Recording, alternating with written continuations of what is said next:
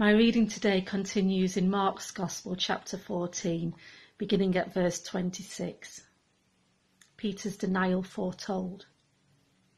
Having sung the Psalms, they left for the Mount of Olives, and Jesus said to them, You will all fall away, for it is written, I shall strike the shepherd, and the sheep will be scattered.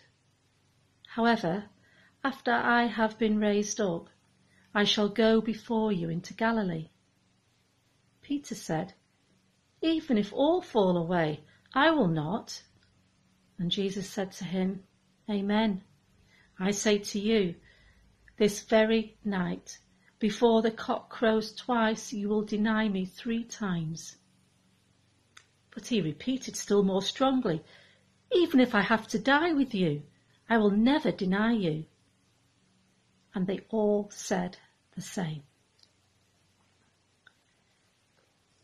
On the face of it, today's reading from Mark's Gospel I find quite dispiriting.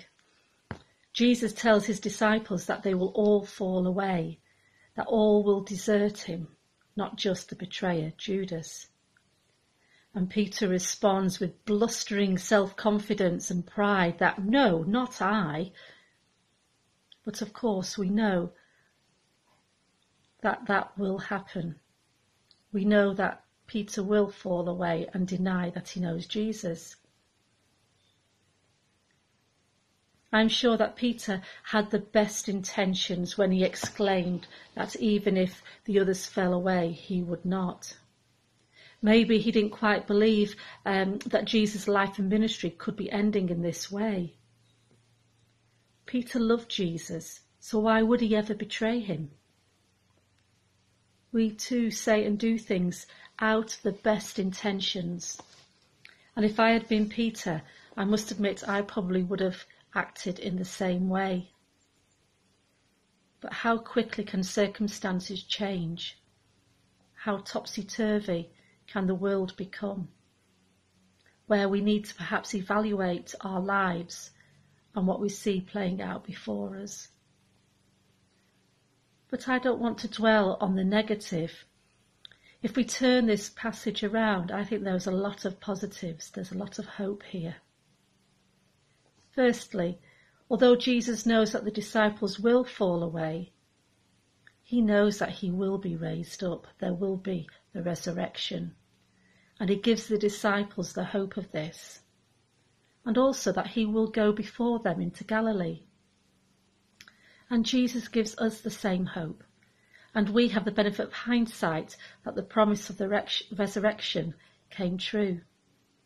And Jesus goes before us, preparing the way in all aspects of our lives. And Peter, yes, he will deny Jesus, but he will also be restored in his relationship with him. And he will never deny him again, for Peter will become one of the founders of the church. He will tell of the good news of Jesus' death and resurrection.